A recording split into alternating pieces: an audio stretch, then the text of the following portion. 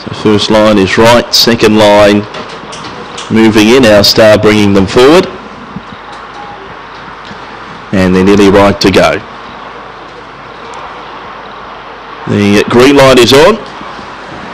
Standby for a start. Race number nine.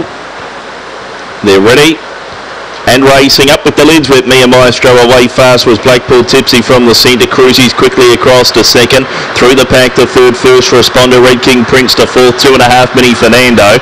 Next was our star Mia Maestro and No Sugar tailed off. Rounding the turn Blackpool Tipsy first for home.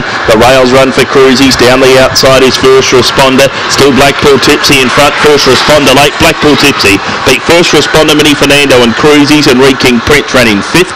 Ahead of our star then Mia Maestro and No Sugar. 23 and 12 is the time.